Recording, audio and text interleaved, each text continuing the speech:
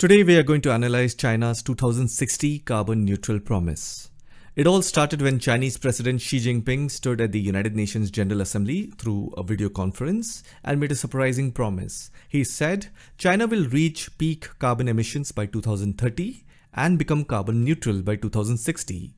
Now, on the surface, this sounds amazing, right? It's like that moment when the most notorious villain in a movie suddenly says, From today, I will be a hero. But the question is, should we clap or should we doubt? Let's dig deeper.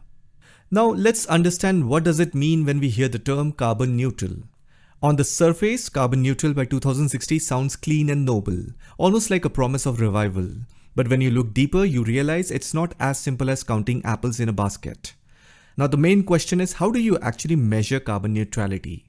So what happens is that scientists don't measure individual carbon dioxide molecules floating around.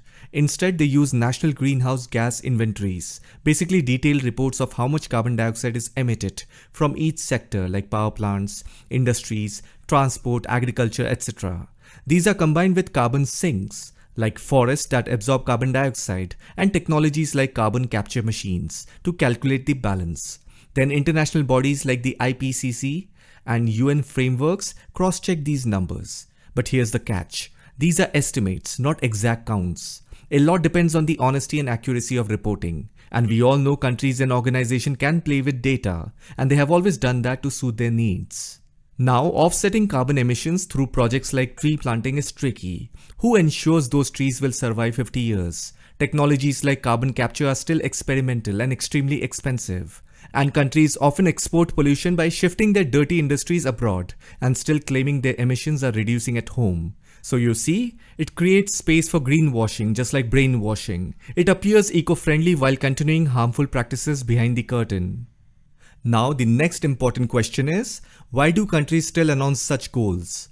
It's partly politics and economics. Announcing a big, far-off target like carbon neutral by 2060 buys goodwill and eases international pressure.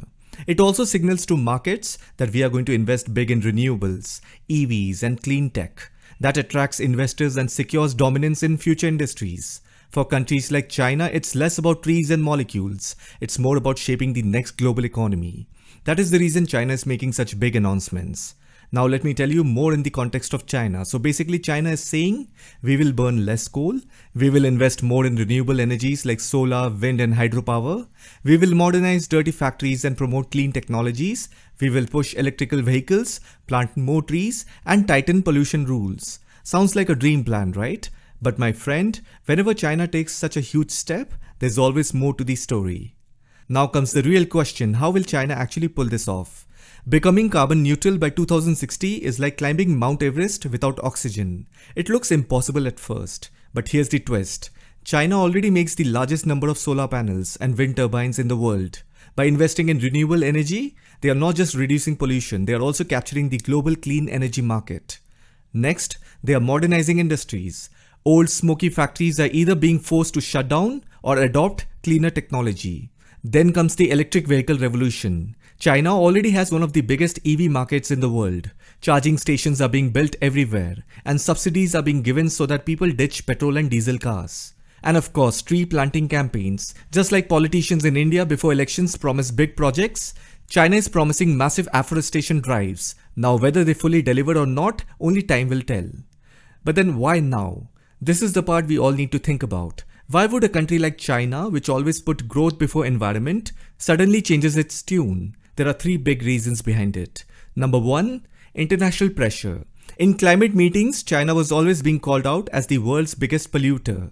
Now this move cleans up their image. Reason number two, cities like Beijing and Shanghai are choking in pollution. People can't breathe properly. Health costs are rising and anger is spreading. The government has to show its citizens that it cares. And reason number three, economic pressure. The world is moving towards green products. Western countries are even talking about carbon taxes. If China keeps polluting, their exports will become costly and they will lose business. So shifting to clean energy is also an economic survival strategy.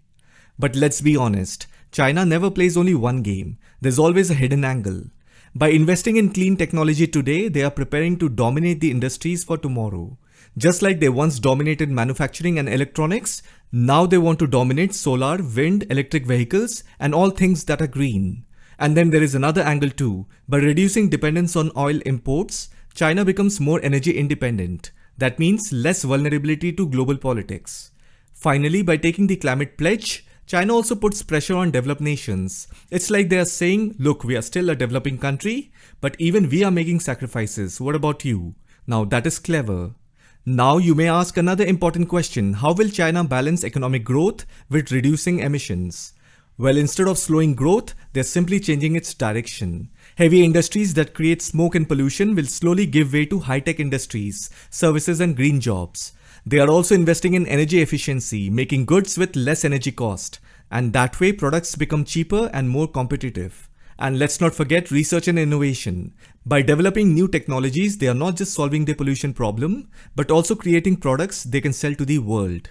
So if you look at the story of China's climate pledge, it is not just about saving the planet. It's about image, money, power and preparing for the next global economic shift. Maybe China sees that the old system of endless growth and pollution is dying and they want to be the first to lead in the new world of clean energy. The question is, are they really turning into a hero or they are just writing a new script where they again play the smartest player on the field? I hope you found this video informative. Thank you for watching. I'll see you in the next one.